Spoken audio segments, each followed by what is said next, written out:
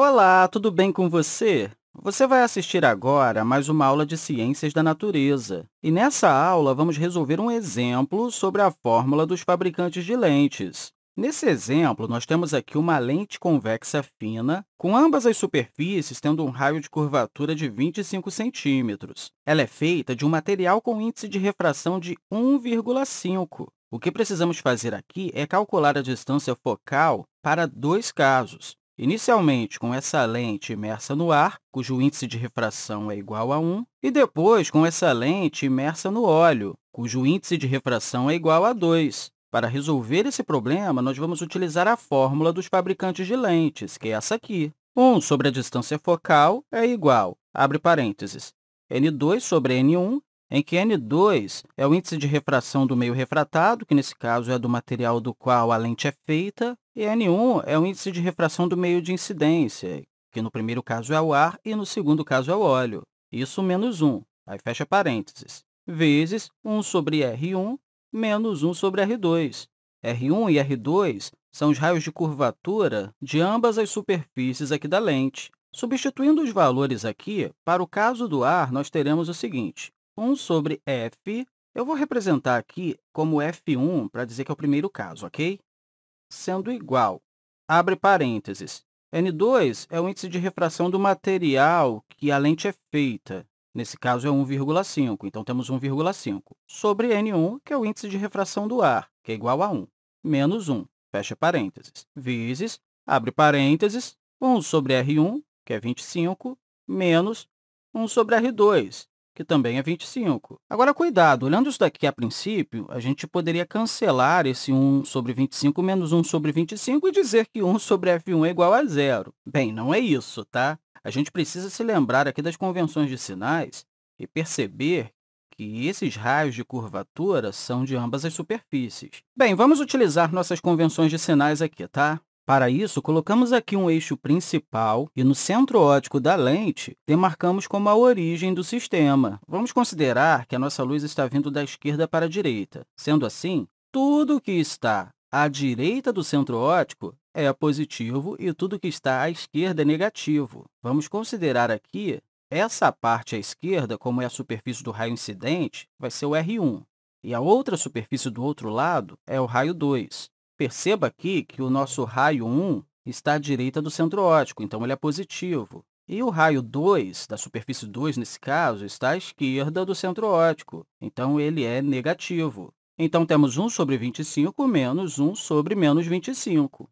Dessa forma, chegamos à conclusão que 1 sobre F1 é igual a 1,5 dividido por 1 é 1,5, e 1,5 menos 1 é 0,5.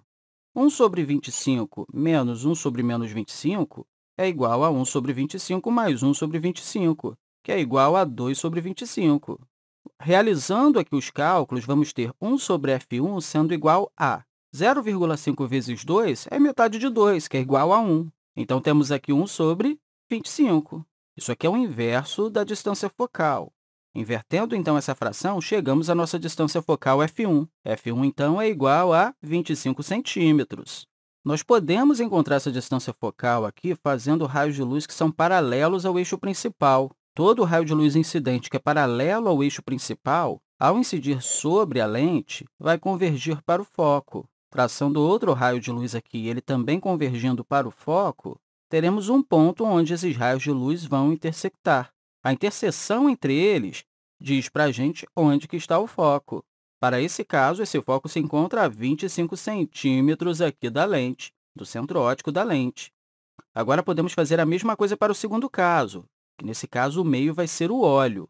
Inclusive, eu vou pintar um pouquinho aqui em torno do espelho para indicar que esse meio é o óleo. O índice de refração do óleo é igual a 2,0. Eu não vou refazer tudo aqui não, tá? Eu vou apenas apagar algumas coisas aqui nessa equação para a gente aproveitar a própria equação já feita. Assim, eu vou ter 1 sobre F2 sendo igual a 1,5 sobre o índice de refração do óleo, que nesse caso é 2, menos 1.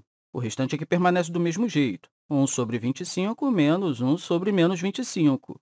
1,5 dividido por 2 menos 1, bem, não fica tão simples para resolver agora, mas a gente pode colocar esse 1,5 e esse menos 1 tendo o mesmo denominador. Um denominador em comum, nesse caso, é o 2. Assim, teremos 1,5 menos... Bem, multiplicando aqui 1 por 2, teremos 2. Então, teremos 1,5 menos 2 dividido por 2. Isso vezes 2 dividido por 25. A gente pode cancelar esse 2 aqui do denominador com esse 2 do numerador, tá? Assim, teremos 1,5 menos 2, que é menos 0,5, dividido por 25. Menos 0,5 é a mesma coisa que menos meio.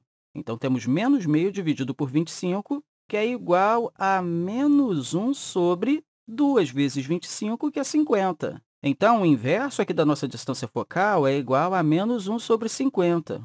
Invertendo essa fração, chegamos à nossa distância focal. Logo, o f2 é igual a menos 50 centímetros.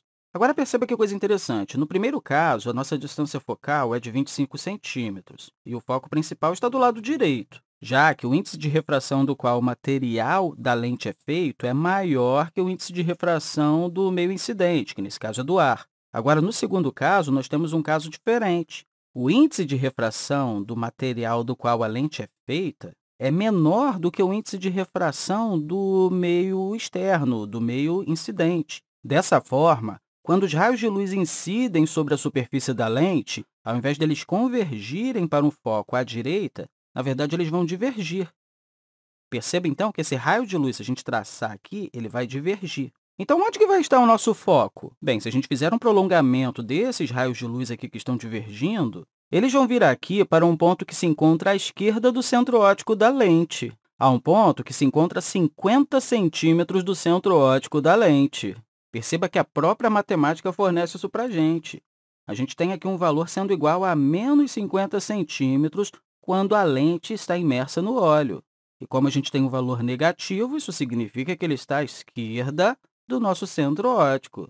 Perceba que a geometria da lente o próprio material do qual a lente é feita não mudou em ambos os casos. A única coisa que mudou foi o meio externo. Mas, utilizando as convenções de sinais que utilizamos aqui, conseguimos chegar a esse valor de distância focal inclusive, chegar à conclusão se o nosso foco principal está à direita ou à esquerda do nosso centro óptico. Enfim, eu espero que você tenha compreendido tudo o que conversamos aqui e, mais uma vez, eu quero deixar para você um grande abraço e dizer que te encontro na próxima. Então, até lá!